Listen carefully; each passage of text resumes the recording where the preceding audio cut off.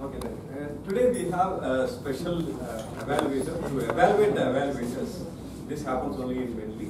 We have a master evaluator, Toastmaster Sunil. He's basically a lawyer.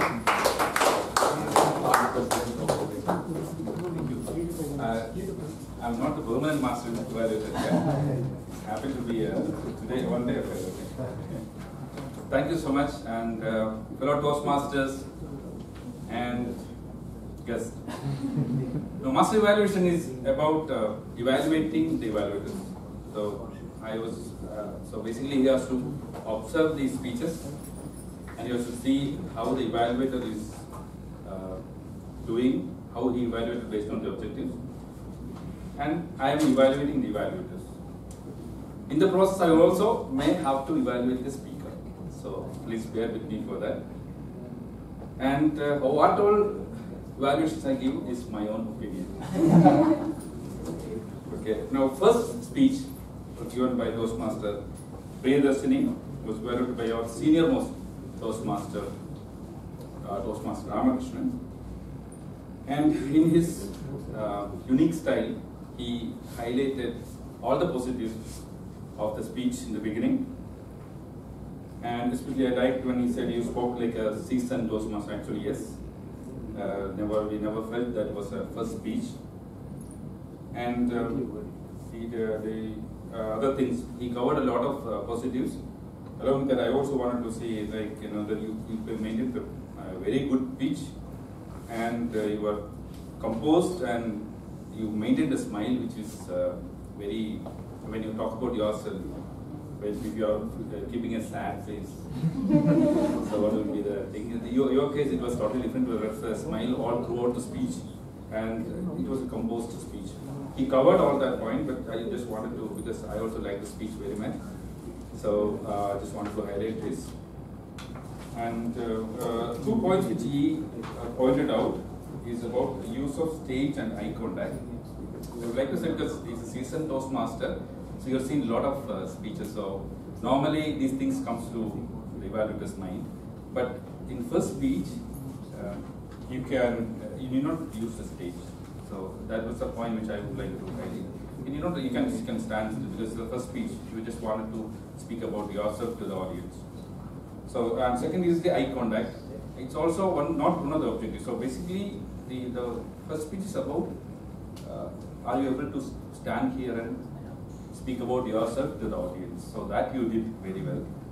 Thank you, sir. Thank you for that uh, wonderful evaluations. And second, um, Arvind. Arvind was evaluating Samiksha. The project was uh, impromptu speech. Yeah. Okay, here also Arvind has his usual analytical style. Okay, he gave all the all the positives, the stage presence, the awareness of the topic. Second, he actually divided into three parts. First, he gave the positive, the general positives. I mean, how she performed because she's an advanced speaker now. All completed all the ten speeches where she had to deal with different each specific objectives. Now she completed that, so she is into the advanced speech. So uh, he was giving, he was actually dealing with that uh, general qualities expected of an advanced speaker. Then he came to the objectives. I liked it very much when, when you you explain the objectives to the audience and you uh, split it up and you analyze. That was an excellent way. And the third one was the excellent suggestion. So excellent, the suggestion actually, uh, Samiksha asked me, I gave that uh, suggestion there. Kudos to you, you just picked it up very well. Um, even I felt that, and, and because, because the summary was generalized instead of connecting to RP. Now, I have a suggestion to you, especially this was an impromptu speech, but there is a uh, kind of, uh, can be confusion because it's not like the normal impromptu speech. Here, the speaker picked up the topics. She was aware of the topics. She gave you the, the, the five topics and you had to select one and give back to her.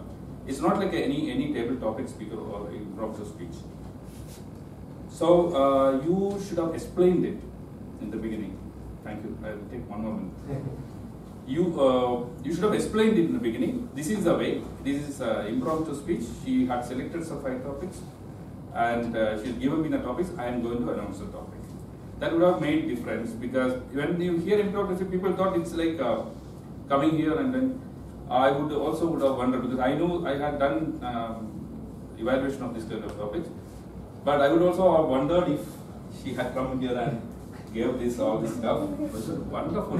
Now she has done, you know, That was all she had already had an awareness about it.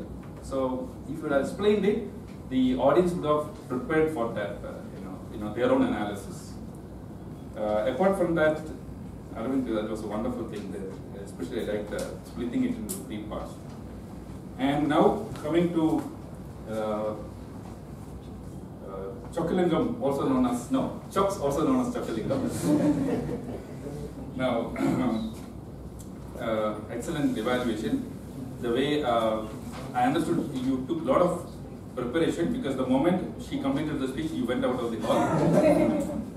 and it was a very detailed and analytical evaluation. Because the points, you know, this was an epic, uh, story from an epic. You picked up the, from like you watching a Rajinikanth movie.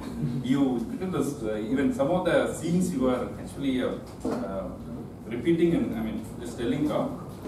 And uh, completely analytic. I don't, I don't have much things to say about the how you give the evaluation. Uh, yeah. So only one thing. One is um, that uh, you, you look at the speaker. You look at the speaker. When uh, because evaluation is, is also a speech, but it's an evaluation. So basically, the value the the the speaker is there to to get it from you. So you look at the speaker, and you can look at it. Don't say it's like uh, you not. I mean, this is not the way I mean. I mean, but better if you look at the speaker more uh, for more of your time. And the second thing is uh, to use the personal. I mean, like you and me. You say I, in my opinion. Better you say this is your opinion. So it's not others' opinion. One sentence I remember you say that others also would feel it. It's better you say, in my opinion, I feel it. In my, I believe, I think you did that. So this I and you would be uh, better when you evaluate the uh, speaker. This was only one suggestion.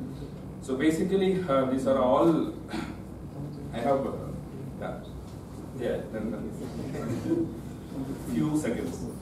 Um, when you give an evaluation, I have four points which I want. I would like to uh, tell all the future Toastmasters here, which are evaluators here.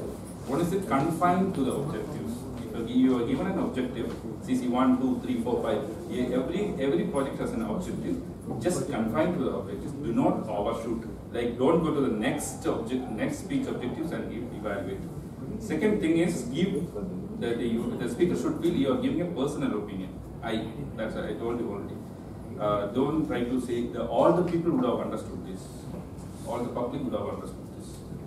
And uh, the third one is uh, the direct conversation. Again, I said it's like I and you. I'm evaluating you. I'm giving you opinion. So you feel more connected. The, the speaker feel, feel more connected. And the fourth one, most of them, most of you did it here. Evaluate with a smile. All you.